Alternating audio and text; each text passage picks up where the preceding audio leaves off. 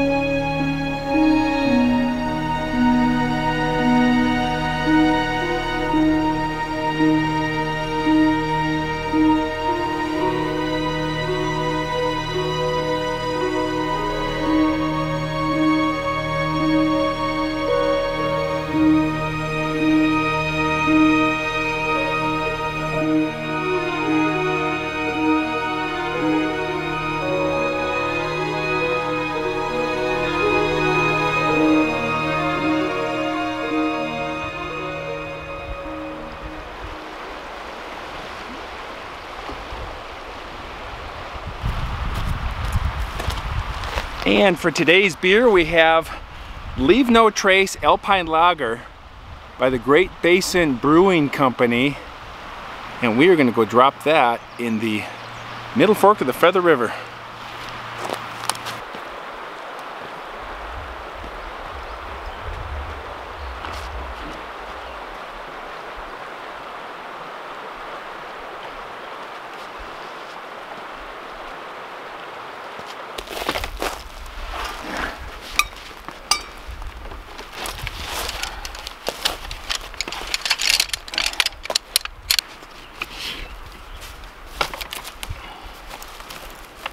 Okay, so today we're along the middle fork of the Feather River in Northern California. It was one of the original rivers set aside in the Wild and Scenic River Act of 1968. And what that means is there's no dams on it and it's left in a kind of a free state for recreation, kayaking, fishing, camping, things like that. Pretty cool. Look up though, Wild and Scenic Rivers in the United States. Okay, time to crack the beer here. Leave no trace. I like that. There we go. Whoa! leave no trace principles. And that would mean do not leave the can. Pack the can with you. There we go. Oh! All right, cheers. That is good. Interesting, this next story takes place in the same exact mountain range as my previous story about the mother and daughter that went missing in the High Uinta range in northeastern Utah. Same mountain range. Other end of the mountain range. This mountain range has got 13,000 foot peaks, runs east and west, extreme northeast corner of Utah. And this lake that this family was camping at was called Paul Lake and that was at 10,000 feet. So they're already really high up there. Uh, the very outdoorsy family. It was the 10-year-old uh, boy, Malachi, his sister, his brother, his father, and his father's friend decided to go camping and they left from a place called Paradise Park, which was a reservoir with a campground, and then they it looked like, from what I could see, they backpacked into this Paul Lake, because I saw pictures of their tents along Paul Lake, and they were going to spend a few nights there, and this was in August of 2015, August 23rd to be exact. They were hanging out at this lake, doing some fishing, just enjoying the summer weather, high country, and Malachi was an outdoor kid, grew up camping, even had some little bit of uh, survival skills, you know, what to do if you were stuck out overnight by yourself, what would you do, um, knows how to fish, start a fire, things like that. Really good to know. really good stuff to know. And this Malachi had been fishing, he caught a nice trout, and he decided to go into the woods and look for mushrooms. Apparently he had been studying mushrooms and he was going to go collect some mushrooms and add it to his fish once he cooked the meal of the trout. Went in apparently too far and got lost. Something happened. That's the last the family saw of him. 10:30 in the morning, August 23rd, 2015. The father, after about 30 minutes, they, they all noticed, where's Malachi? He's not here. We're camping and we were all, people are doing their different stuff, fishing and hanging around the camp, and they didn't see Malachi. They couldn't find Malachi. Immediately started yelling, looking, double checking, you know, behind the tents or whatever, to make sure he's not right there somewhere. And then the father knew something wasn't right and he hiked, immediately hiked back down to the Paradise Park campground, got in his vehicle, and drove down the road until he could get cell phone reception and call the authorities and let them know their son is missing. And he told them exactly what happened. That day, they started a search. They pulled together a search pretty quickly. This was the uh, Sheriff's Department in northern Utah. I'm not sure. I think Summit County uh, this is also in the Ashley National Forest, very large national forest. They had over 80 people in this search effort, search and rescue effort.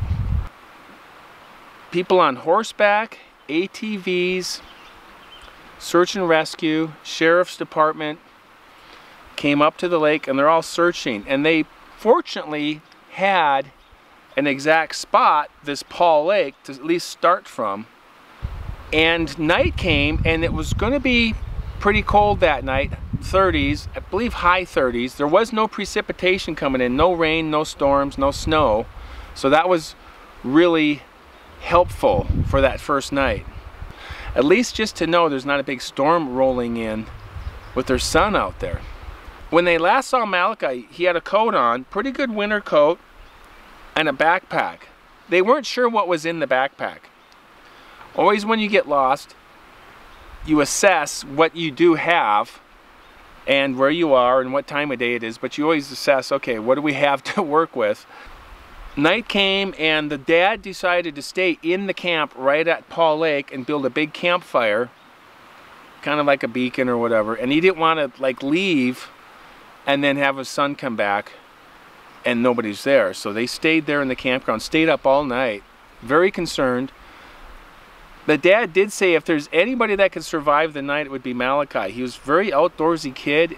His dad taught him some things. And in fact, the week before he went missing, Malachi and one of his friends were in the backyard and they were playing and they said, hey, let's pretend we're lost for the night. What would we do? And so they built a big pile of leaves, crawled under it for insulation, uh, built a lean-to block the wind, some kind of a shelter, and a few other things. And so he's already thinking in his mind, what would he do? So that's really important, really helpful to the situation. Next morning comes, the search starts all over again, early in the morning. And they have helicopters, and airplanes, search airplanes way high, and then apparently what happens is search airplanes are a lot higher and they're looking, and then when they see something in an area of interest, they can get the helicopters to come in and go a lot lower to really check in and go slowly and, and really get some good coverage of an area. They also had search dogs. Really interesting. One of the search dogs got a scent of something. And most likely the boy because they probably had some additional clothes back in the car or something and, and, however they work with search dogs but they give him the scent and they say Here, here's what Malachi would smell like and go let's go look for that right? So apparently this dog got a scent of something down in this ravine and they were so they the search party went that direction part of the search party and then they said let's get the airplane over here and the airplane flew over and they spotted something down in a meadow, curled up and lying there. So they got a helicopter in to go get a closer look at it. Turns out it was Malachi. They landed the helicopter, went over there, and he, he sprung up and he, he, he headed towards them and he was alive. Pretty amazing. And he spent 30 over 30 hours by himself in the wilderness. The full night and then that afternoon is when they actually found him. So what happened was he said that he had gone into the woods to look for mushrooms to go with his trout and he went he said i went too far and i knew it. I knew it because it's like you know when you're fishing or something or you're look you're just having fun and you kind of go a little and you keep hop skipping further in. And then he turned around to come back and he got lost. Because he went over a hill and down into a ravine and he ended up southwest of Paul Lake five miles away five miles. wow. But what he did do is he kept his head about him and he didn't panic and he kind of accepted that I'm lost and so I need to do some things to take care of me right here and right now. I can't panic and try to get back because I probably will make things worse. So he started, he did some fishing to see if he could catch another fish to eat. He apparently filtered some water through uh, like his sh a shirt, I believe. So he got some water and he found a, a stream that he, he could drink out of. This is what he said. And then that night, before the sun went down, it was windy and it was getting cold he looked for a shelter in this immediate area that he was lost in, and he found these four large rocks. And if you know the high Uintas, they're very rocky, high alpine country, and there's a lot of these big boulders. He found four of them. He was able to go in the middle of them, in these four boulders, right at like kind of the junction, I guess, and he spent the night inside these boulders as like a shelter. And there was a breeze, there was a pretty good wind. And he said he took his jacket and he wrapped it around his legs. And then he, when the wind shifted, he would kind of shift and adjust most likely with his back to wherever the wind was coming because the wind was kind of coming at different angles at him. He spent the whole night there doing this. He didn't really sleep much at all. He was pretty exhausted, but he got through the night. And these rocks were giving off heat from the sun the previous day. So that actually helped him. But what it also didn't do is that because they have infrared sensors when the helicopters are searching, and especially when it's starting to get dark, they can't see a person within some warm rocks that are radiating heat. So they they weren't able to see him had they been looking in that exact spot. But he was out hiking the next day and he saw some helicopters flying overhead. Flew basically right over the top, but he was in the trees so they couldn't see him. He could hear them and actually see them. And he knew he needed to get out of the trees and get to a clearing somewhere where he could be found.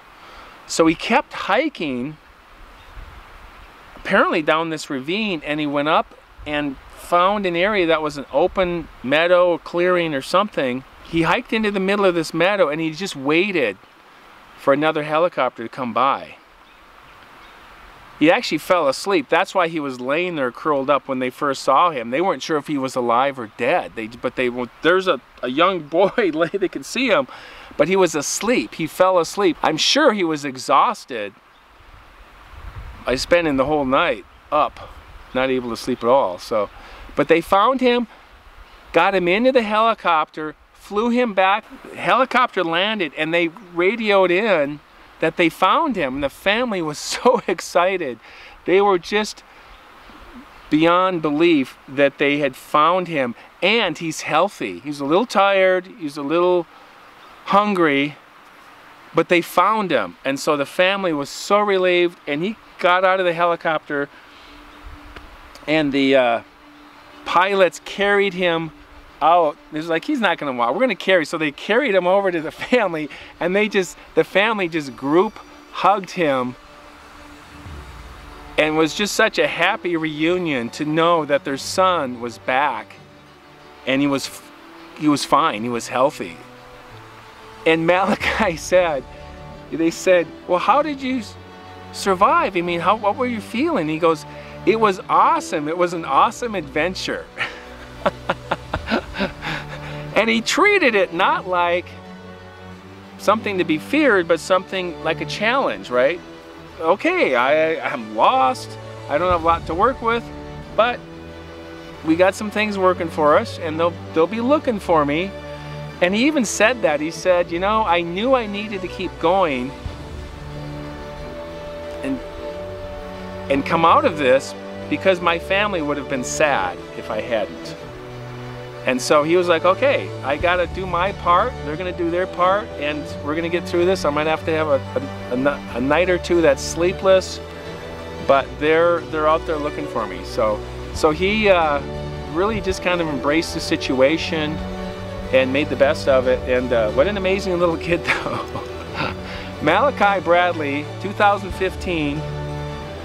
And uh, yeah, so yeah, there's some really good lessons there. And I think the number one thing I kind of picked up was that just adjust your mind and your attitude of like acceptance that I'm not going to get out in this next hour here. I, I gotta I gotta prepare for the night. I gotta accept the situation and make the most of it with whatever I got to work with. I mean, look at this. There's a here's like a structure right behind me. You know, I could fill that with pine boughs and maybe sleep in it or something. But but you just you adjust your mindset so it's not all about fear and panic and I have to get back immediately. It's like I have to accept where I'm at and tomorrow's a new day and I got to get through this night because once night falls, the searches usually always completely stop. There's just it's just too dangerous for the search parties to be searching.